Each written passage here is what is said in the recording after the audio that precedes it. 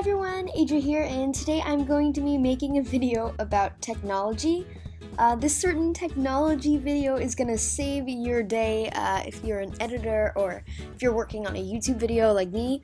Um, I have been trying to figure this out. I've been searching YouTube, Google, and I can't find the answer anywhere. After a really long time of searching, I finally found out how to import a video or something onto my iMovie project. Now, usually it's really easy. You can just press this import button here, and anything that's on there, like me, um, would come up. But usually it would have my phone here, but I plugged in my phone, and for some reason it doesn't work. Also, it's not in the iMovie library. I looked for it, and the video I'm looking for is not in there. So what you're gonna have to do is you're gonna have to go into iPhoto, and for instance, the one I was doing was a crayon melting uh, art thing, and I wanted to put it into here, and I wanted to put it into there. It wouldn't let me.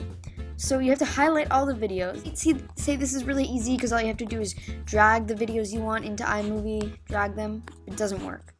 I've tried this and tried.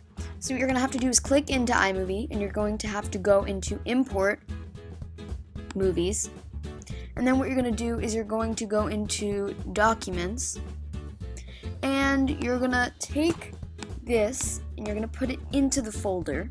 You're going to and you're going to highlight the ones you want. You're going to take each one. And unfortunately, there is no quicker process for this. And you're going to highlight each one and then you're going to click import and they're all going to import.